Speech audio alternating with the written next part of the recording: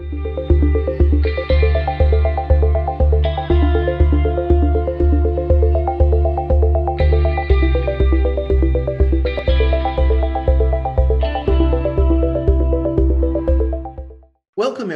everyone, to AASCEND TV, uh, Life on the Autism Spectrum. Today, we have a uh, special report with both live footage as well as our usual interview segment on Best Buddies. Our guest uh, is Melissa Cagney, Program Supervisor for Northern California. And before we get into that and introduce you, Melissa, Will, uh, I want to see, are you wearing a special t-shirt today? As a matter of fact, I am. It, this, this is my best buddy shirt. I, I've had this shirt for years. Since today's since today's episode's about best buddies, I'm wearing my best buddies shirt. I wear it all the time, not just at best buddies events. I encourage everyone to participate in best buddies or or check out our, our events on YouTube. Excellent. Thank you very much. Well, would you like to introduce and uh, begin the discussion with our guest, Melissa? Melissa, um, tell us Tell us about Best Buddies. Hi, Will. It's good to see you.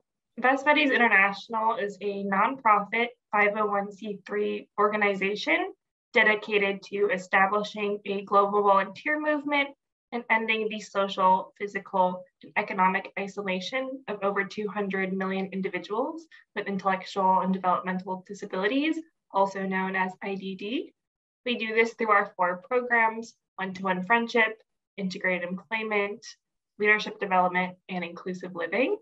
Our programs empower people with IDD by helping them form meaningful friendships with their peers, improve public speaking, secure su successful jobs, and improve public speaking, self advocacy, and communication skills, and overall feel valued by society. Tell us about your background, how you got involved with Best Buddies. Yeah, I started working at Best Buddies a little over a year and a half ago as the program manager of mission expansion, where my main role was to bring Best Buddies programs to new schools. Uh, my background in disability awareness, acceptance, and advocacy started right here in the Bay Area when I was a volunteer at the Pomeroy Recreation and Rehabilitation Center in San Francisco when I was in high school. Since then, it's always been my my passion to have service work be at the forefront of what I do. So when I graduated from college, Best Buddies um, really aligned with my values and being able to support individuals both with and without disabilities.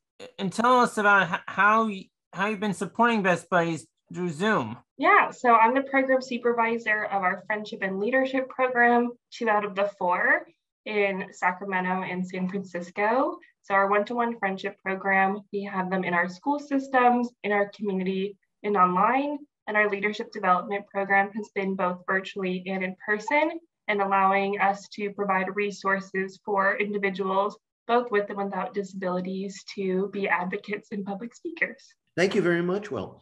So, Melissa, uh, recently there was a very successful uh, Best Buddies walk. Can you tell us a little bit about that for our viewers who may not be familiar with it? Yeah, our Friendship Walk is one of our two annual events that we have.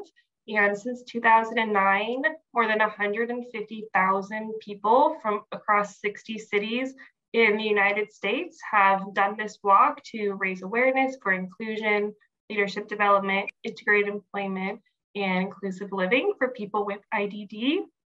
The fund raised, the funds raised at this friendship walk help move our mission forward by funding our local Best Buddy program. So every dollar that is raised at the event goes back to the local community.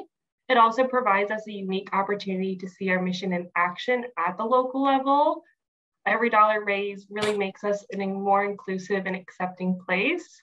Um, in San Francisco of 2022, this was our first friendship walk back in person since 2019, and we raised over $139,000 thanks to the help of almost 500 volunteers. Now we will get into some footage from the walk where Will and I, uh, due to uh, our producers Matthew's great assistance, uh, filmed some interviews with the participants there. And I think we'll run that right now. Hello again, everyone. We are finishing things up at a very successful uh, Best Buddies Walk. And to do so, I'm going to be interviewing uh, once again the co chairs, uh, Wesley Lamb uh, and Ken Cito. And I will be turning it over to you, gentlemen. So, what are your thoughts about how did this event go? Ken? I actually think it went really smoothly. You know, the last couple of years we've been doing a virtual walk, and so everyone's kind of been doing their own thing wherever they are, which is super, super convenient. But I have been really, really missing just the camaraderie and just the, the, the, the, friendliness and just the positive spirit of having everybody together and celebrating you know, people with uh, intellectual and um, developmental disabilities, and just the community itself, and having everybody together doing the walk with the the, the cheering and just just the crowds. It's been tremendous. It's been great, and so I'm happy that we could do it again, and looking forward to get doing it again next year. Excellent. I myself, just here for a little bit, felt the tremendous warmth and energy that you were talking about, Ken. So, uh, Wes, what are your final thoughts? You know, I think he went really, he went well overall. You know, it wasn't like exactly like it was like years before, but you know, we had a great turnout for the event. I'm glad that things went well for the for the friendship walk, especially like the, you know, it's great to see everybody back here in Golden Gate Park again. Excellent. Any ending thoughts and hopes for next year, gentlemen? Well, you know, we had such a beautiful day, and I'm hoping next year we're just going to have the same kind of perfect, beautiful day. And hopefully next year we'll have more people uh, hear about it and be involved and just uh, more companies and just more more to celebrate. I'm really looking forward to that.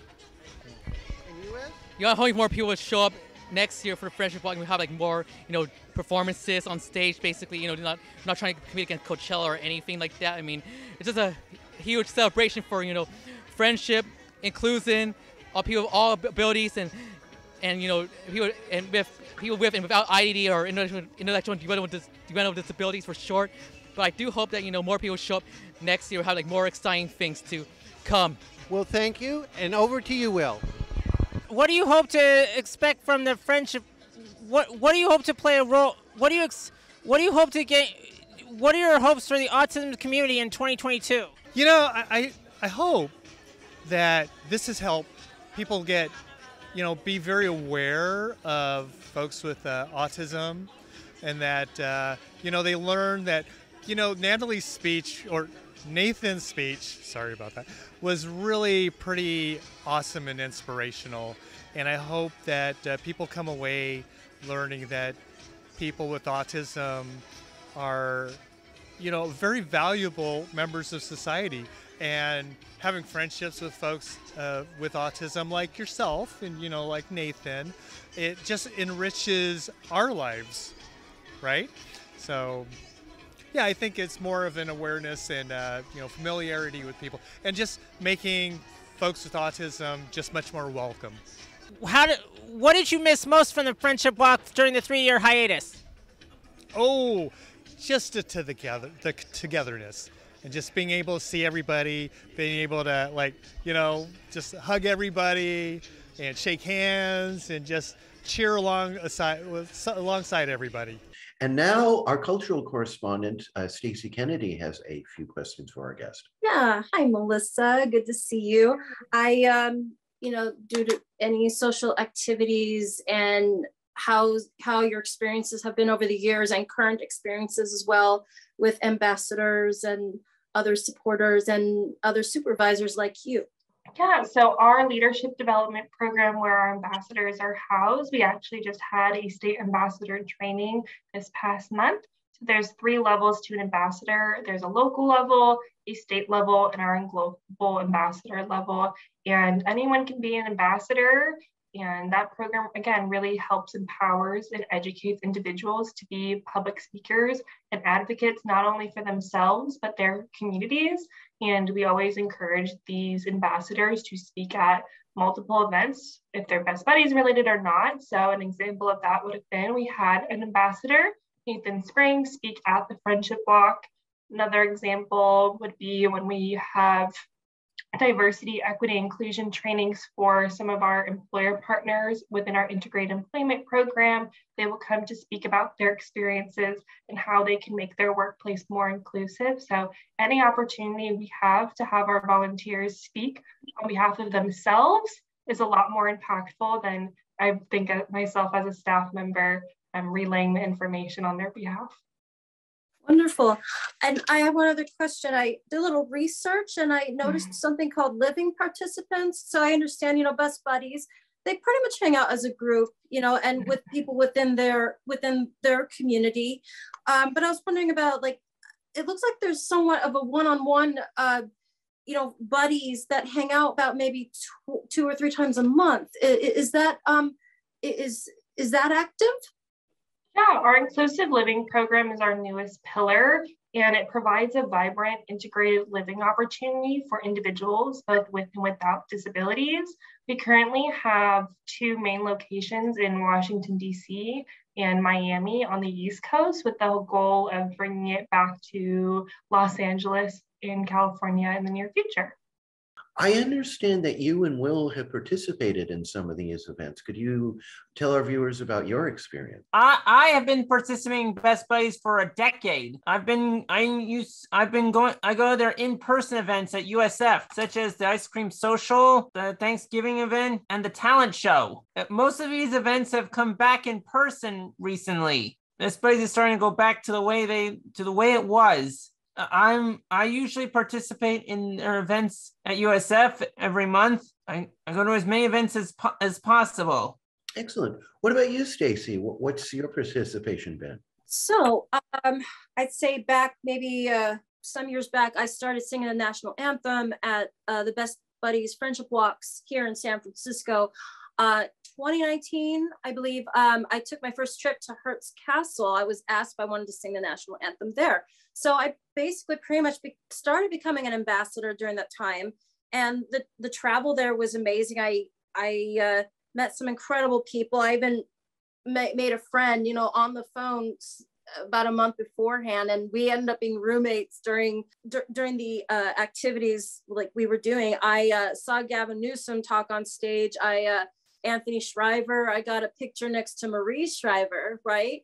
Um, so I pretty much was just standing back and just looking and experiencing. And so it was nice to be part of that. And also, uh, it was nice to, amazing to see others from all over and even some, you know, I'm into, you know, I into acting, you know, I've noticed some actors and actresses like from in LA that were supporters as well. I'm thinking, wow, how incredible is this? And yeah, so I, I sang the national anthem but twice during the Hearst Castle um, experience, and there was like bike bicycling, and there was also walkathons and runathons or so. But um, Ashley Simmons, she's she's one of the invo- one of those who got me involved. So thank you very much, Stacey.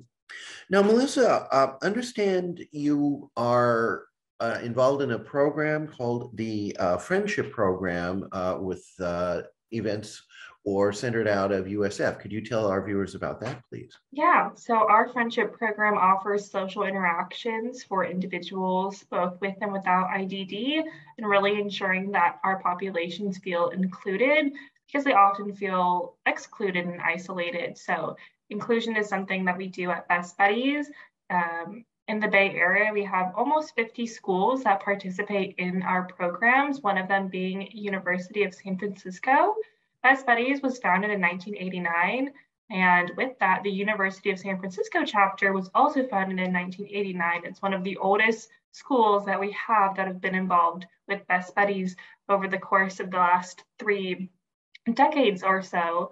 Um, and we currently are partnered with the ARC of San Francisco to, in order to provide more opportunities for friendship and inclusion. Excellent. Where is the program uh, going in the near future, if you care to tell us, or if you have that information, that is? Yeah, for our friendship program, we're continuing to expand. One of our newest elements of that is our elementary and middle school programs and really starting to focus on inclusion and talking about disability acceptance and appreciation at a young age. I think more often than not, we get individuals who are well into adulthood who had wished that they had a program like this growing up, um, hoping that it doesn't take 20, 30 years for someone to feel like they belong because they do. Um, we also just revamped our eBuddies system earlier this year. eBuddies, as the name may suggest, is our online friendship service where someone can be matched in a friendship with someone in our program in any location. So this is really great for people looking for additional friendships, or maybe they're in a more remote location. I have an eBuddy, they live in Chicago. So I've been able to make a friend, even though I've never been to Chicago before. Excellent, excellent. Very pleased to hear expanding uh, outward and and to lower earlier levels as well. Thank you. Jennifer Brooks, our book correspondent, has a question for our guest as well. Yes, Melissa. I heard Will mention a talent show. I'm curious to know more about that. What kind of talents are shown, and how do people enter the talent show? Yeah, I think I have some photos from the University of San Francisco talent show. Um, but that's just one of the events that a chapter can host for their members. Some other schools, they also host a Best Buddies prom. Some others have also hosted their own Best Buddies friendship walk. But I feel like Will will be the best one to answer how his experience with that talent show is. Will, okay. if you want to share a little bit more. The, the talent show is is an event that Best Buddies puts on every year at USF. It, they they rent they rent one of the student un, student rooms at, at USF, and then every Best Buddies participant can go up and and show, shows off their talent. I sang "Grenade" by Bruno Mars in one year. Melissa, I understand that uh, besides the various programs that you've mentioned, uh, Best Buddies offers an employment uh, services program. Could you tell us about that as well? Yeah, our integrated employment program helps secure jobs for individuals with IDD, allowing them to earn an income, pay taxes, and continue to be independent and support themselves. In California, we've been selected as one of the states to have our pre employment transition services, also known as Pre-ETS. And this provides a classroom based employment training workshop for students with IDD between the ages of 14 and 21. This program aims to help students identify and develop their career goals as they prepare to enter the workforce. In San Francisco, we're almost halfway through our goal for providing placements for individuals in our programs this year. Excellent. And I do know by uh, working on the uh, AASCEND Job Club that one of our AASCEND members did receive employment, which he currently has through the Best Buddies Employment Support Program. So, thumbs up there. So, Melissa, if people are interested in participating in Best Buddies, want to connect with the program, or maybe reach out to you personally, how can they do that? That's a great question. Everyone can get involved in Best Buddies. There's a few ways that you can go about it.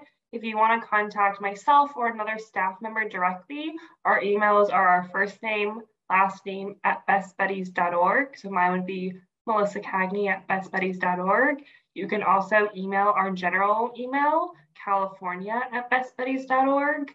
On our website, we have an events page where we host volunteer orientations once a month that go over more in depth the different opportunities we have across our programs. And from there, you can also connect with staff members to get more involved. What has been your favorite event to what has been your favorite event to participate in Best Buddies? Yeah, I think since working at Best Buddies, I've mostly been working in a virtual capacity up until recently. So I know that this may be an obvious answer, but our friendship walk that we did have that you've seen footage of was really being able to see our mission in action, see our students from our schools, see our ambassadors, our employer partners, our jobs participants, other volunteers all come together to see each other for the first time in a long time and be able to celebrate all that they've done to support inclusion in their community.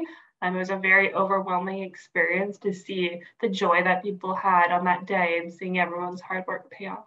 Well, thank you very much, um, Melissa Cagney. Uh, kudos to you, eh, to Best Buddies, and I know we'll be hearing uh, more from both of you in the near future. Thank you. Thank you so much, everyone, for having us. I'm looking forward to it. We'll now be hearing from Jennifer Brooks, our uh, book correspondent. Uh, thank you, Keith. Today, I would like to tell you about a biography of Temple Grandin. This was written by the well-known science writer Sy Montgomery. And this book was intended for children, but could be highly enjoyable for adults on the spectrum, especially for those with highly visual minds, because first of all, the pages of different chapters come in different colors. Chapter three, What is Autism, is a uh, slightly very pale shade of green. And and moving on to chapter four, we get this nice baby blue color, which is actually quite uh, quite refreshing from simply seeing the white on black, which can get tiring. And yeah, so also the chapters are very short and interspersed between these chapters, they have segments such as thinking differently, changing views of brain differences. Brain differences have always existed for most of human history. They were ignored.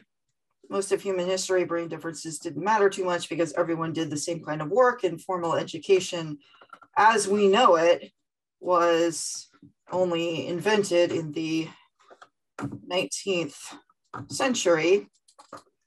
Not a very long time. Oh, they do have a picture of one of the facilities that Temple has designed. You can see Temple is uh, not only very highly visual, but also very creative to be able to think of something like this when nothing like it has existed before. So the book emphasizes Temple's childhood and adolescence and education, her struggle to get an education, her struggle to uh, fit in with her classmates. Eventually, she was able to find friends through common interests, which is something that she commonly advises people to do when she's on speaking tours. And it also emphasizes her work with animals and her not only designing facilities to uh, process food animals more humanely, but uh, also working to improve animal welfare in general. She argues that if we are going to continue to eat animals, we owe it to the animals we use for food to give them the best lives that we can. And I certainly agree with that. the section they have titled Factory Farming by the Numbers, we learned that there are 190 million pet dogs, cats, birds, and reptiles combined in the US. That number is dwarfed by the number of animals raised and killed for meat, eggs, and milk in the United States 10 billion, if you can believe. I know it's absolutely mind boggling to think of that number. And yeah, here's a here's a photo of Temple with some friendly pigs. So yeah, I uh, I strongly recommend this book for both children and adults. Not only does it help you learn about Temple Grandin, but it does so in a very uh, autism friendly way, short chapters and visual graphics. And that's it. We'll now turn to our cultural correspondent, Stacey Kennedy. Thank you, Keith. Hello, everybody. Um, I have a few events that I'd like to share for my cultural report today. Uh, Saturday, June 18th, um, starting at 12 p.m. to 3 p.m., there's going to be this autistic um, pride and, and picnic um, rally on, um, it will take place in Santa Rosa, which will be, you know, obviously past the Golden Gate Bridge and past Marin and all. Um, yeah, and this will be at Howarth Park on Summerfield Road, Santa Rosa, where uh, people will gather to strengthen and advocate for their, our community. And you can bring your own food. Um, and there will be autistic vendors, speeches, and information tables for other organizations that will provide resources. And they are not broken, but a valuable part of neurodiversity. So um, they deserve to be heard and exist as we all deserve to be heard and exist. And um, you can go to the Howarth Park website, uh, which is in Santa Rosa City.org. So again, that is happening Saturday, June 18th, the Autistic Pride Pic Picnic and Rally. Saturday, July 2nd, from 11 to 1.30 p.m. There's going to be this skating at um, with the Autism Society, uh, San Francisco Bay Area. This event will be, will, it will take place in San Jose, usually where the San Jose Sharks usually play.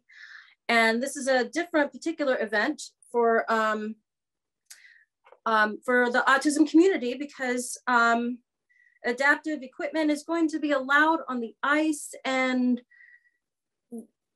I believe everybody, you know, anybody is welcome, especially in the community, especially like families, they talk like that, you know, the only thing though that they, um, they, they just say is to, um, to not invite friends attending without a disabled loved one, you know, because they want to still make it about the community or so and $10 per participant.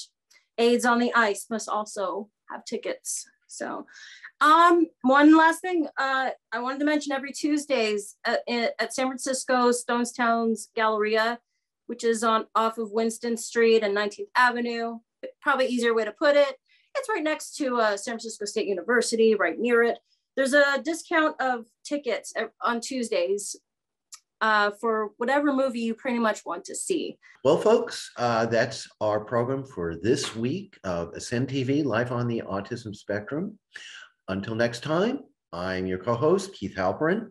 I'm Will Bernick. Stacey Kennedy. And I'm Jennifer Brooks. And I'm Melissa Cagney. Until next time, stay well and stay great.